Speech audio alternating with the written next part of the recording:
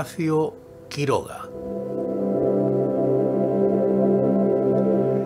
Nacido en Salto en 1878 y fallecido en Buenos Aires en 1937. Narrador uruguayo radicado en Argentina, considerado uno de los mayores cuentistas latinoamericanos de todos los tiempos, cuya obra se sitúa entre la declinación del modernismo y la emergencia de las vanguardias. Las tragedias marcaron la vida del escritor. Su padre murió en un accidente de caza y su padrastro y posteriormente su primera esposa se suicidaron. Además, Quiroga mató accidentalmente de un disparo a su amigo Federico Ferrando. Estudió en Montevideo y pronto comenzó a interesarse por la literatura. Inspirado en su primera novia, escribió Una estación de amor 1898 y fundó en su ciudad natal la revista de Salto 1899. Marchó luego a Europa donde conoció a Rubén Darío y resumió sus recuerdos de esta experiencia en Diario de viaje a París 1900. A su regreso fundó el consistorio del Gay Saber, cenáculo modernista que pese a su corta existencia presidió la vida literaria de Montevideo y las polémicas con el grupo de Julio Herrera y Racing. Ya instalado en Buenos Aires, publicó Los Arrecifes de Coral 1901, poemas, cuentos y prosas líricas de gusto modernista, seguidos de los relatos de El crimen del otro 1904, la novela breve Los perseguidores 1905, producto de un viaje con Leopoldo Lugones por la selva misionera hasta la frontera con Brasil, y la más extensa Historia de un amor turbio 1908. En 1909 se radicó precisamente en la provincia de Misiones, donde se desempeñó como juez de paz en San Ignacio, localidad famosa por sus ruinas de las misiones jesuíticas, a la par que cultivaba hierba, mate y naranjas. Nuevamente en Buenos Aires trabajó en el Consulado de Uruguay y dio a la prensa las colecciones de relatos breves Cuentos de Amor, de Locura y de Muerte, 1917, Cuentos de la Selva, 1918, y El Salvaje, 1920, y la obra teatral Las Sacrificadas, 1920. Le siguieron nuevas recopilaciones de cuentos como Anaconda, 1921, El Desierto, 1924, La Gallina degollada y otros cuentos, 1925, y el que es quizá su mejor libro de relatos, Los Desterrados, 1926. Colaboró en diferentes periódicos y revistas, Caras y Caretas, Fray Mocho, La Novela Semanal y La Nación, entre otros. En 1927 contrajo segundas nupcias con una joven amiga de su hija Eglé, con quien tuvo una niña. Dos años después publicó la novela Pasado Amor sin mucho éxito. Sintiendo el rechazo de las nuevas generaciones literarias, regresó a Misiones para dedicarse a la floricultura. En 1935 publicó su último libro de cuentos, Más allá. Hospitalizado en Buenos Aires, se le descubrió un cáncer gástrico, enfermedad que parece haber sido la causa que lo impulsó al suicidio, ya que puso fin a sus días ingiriendo cianuro. Los cuentos de Horacio Quiroga.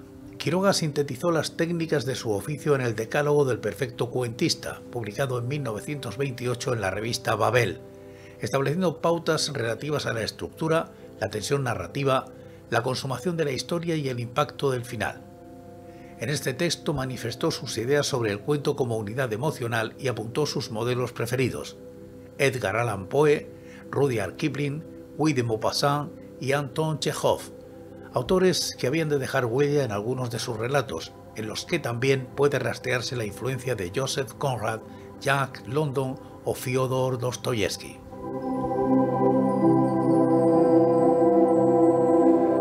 Sus primeros intentos fueron meras imitaciones de Poe, con quien compartía una especial preferencia por la violencia y la locura. Así, algunos de sus primeros cuentos como La gallina degollada o El perseguidor pueden calificarse dentro de los denominados relatos sangrientos. La mayoría de sus narraciones aparecieron publicadas en periódicos y revistas y se recogieron posteriormente en forma de libro en las recopilaciones Cuentos de Amor, de Locura y de Muerte, 1917, Cuentos de la Selva, 1918, Anaconda, 1921 y El Desierto, 1924. Sus relatos más característicos dramatizan la pugna entre la razón y la voluntad humanas por una parte y el azar o la naturaleza por otra. Su fuerza se fundamenta más que en un minucioso y detallado análisis psicológico en el estudio de la conducta humana en condiciones extremas. En la última parte de su producción, sin embargo, sus cuentos experimentaron un giro considerable. En Los Desterrados, 1926, por ejemplo, las narraciones aparecen menos estructuradas y generalmente más próximas a los estudios de caracteres. Horacio Quiroga destiló una notoria precisión de estilo que le permitió narrar magistralmente la violencia y el horror que se esconden detrás de la aparente apacibilidad de la naturaleza. Muchos de sus relatos tienen por escenario la selva de Misiones, en el norte argentino, lugar donde Quiroga residió largos años y del que extrajo situaciones y personajes para sus narraciones. Sus personajes suelen ser víctimas propiciatorias de la hostilidad de la naturaleza y la desmesura de un mundo bárbaro e irracional que se manifiesta en inundaciones, lluvias torrenciales y la presencia de animales feroces. Quiroga manejó con destreza las leyes internas de la narración y se abocó con ahínco a la búsqueda de un lenguaje que lograra transmitir con veracidad aquello que deseaba narrar. Ello lo alejó paulatinamente de los presupuestos de la escuela modernista a la que había adherido en un principio. Fuera de sus cuentos ambientados en el espacio selvático de Misiones, abordó los relatos de temática parapsicológica o paranormal, al estilo de lo que hoy conocemos como literatura de anticipación. Sus publicaciones póstumas incluyen cartas inéditas de Horacio Quiroga, 1959, dos tomos, y obras inéditas y desconocidas, ocho volúmenes, 1967-1969. En el desarrollo de la literatura hispanoamericana cabe situar la cuentística de Quiroga en una nueva línea surgida del ambiente intelectual del posmodernismo y del magisterio de autores como Edgar Allan Poe, que había tenido su primer anuncio en algunos relatos de Leopoldo Lugones. La naturaleza americana empezó a ser enfocada por entonces en sus características más alucinantes, en las extrañas mutaciones que anulan cualquier plan preconcebido a quienes se sumergen en ella.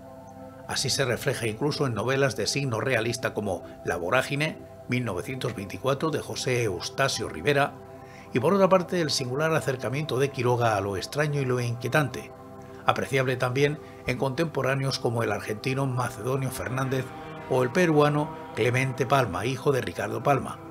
Preludio, el altísimo nivel que alcanzaría el cuento fantástico durante el boom de los años 60, con maestros como Jorge Luis Borges y Julio Cortázar.